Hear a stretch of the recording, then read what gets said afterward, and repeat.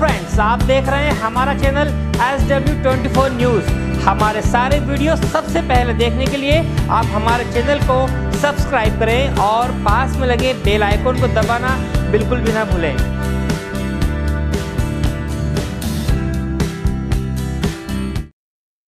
पन्ना ज़िले के समाजसेवी अंकित पाठक और उनके सहयोगी चंदन पाठक, अंशुल जैन, पवई ने अमानगंज में आकर पुलिस थाना परिसर, स्वास्थ्य केंद्र, तहसील और छात्रावास में जाकर सैनिटाइजिंग कराई।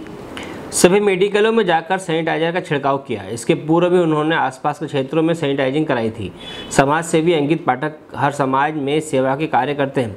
साथ ही सभी सदस्यों का कहना है कि कोरोना महामारी के खिलाफ लड़ाई आगे भी जारी रहेगी।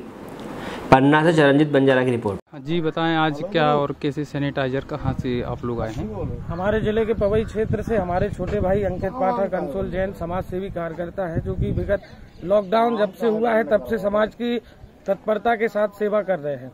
सैनिटाइजिंग करने का काम गरीबों को भोजन वितरित करने का काम स्वतः समाज के सहयोग से और अपने द्वारा ये कर रहे हैं। अभी विगत दिनों में सिमरिया मोहंदरा जयपुरा और पवई किया आज अमानगंज भी अस्पताल और पुलिस स्टेशन और जहाँ पे क्वारंटीन सेंटर बनाया गया है, उसको भी सैनिटाइज किया जा रहा है। लोगों के द्वारा जो वर्तमान में कोरोना का संक्रमण फैल रहा है, जो कि छूने से होता है, जो सार्वजनिक स्थल हैं, पुलिस स्टेशन है, हॉस्पिटल है, कुछ छात्रावास हैं, जहाँ आइसोलेशन सेंटर बनाए जाना है, संक्रमण रोकने के लिए हम लोगों के द्वारा सैनिटाइज किया जा रहा है सभी सार्वजनिक जगहों को जहाँ पर लोगों का आना जाना है, सभी सरकारी वाहनों को जिनमें दिन भर अधिकारी कर्मचारी घूमते हैं जो हाथ जिन चीज़ों में हाथ लगाते हैं उनको हम लोग सैनिटाइज कर रहे हैं। ताकि जो पन्ना जिला अभी संक्रमण से अछूता है वो अछूता ही रहे पन्ना ज़िले में संक्रमण आ ना पाए। ऐसी हम लोगों की योजना है। तो क्या ये आपकी टीम कार्य कर रही है कि कहीं शासन से इसकी सहयोग शासन से हमें कोई सहयोग नहीं मिल रहा है ये हम लोग व्यक्तिगत अपने तरीके से कर रहे हैं।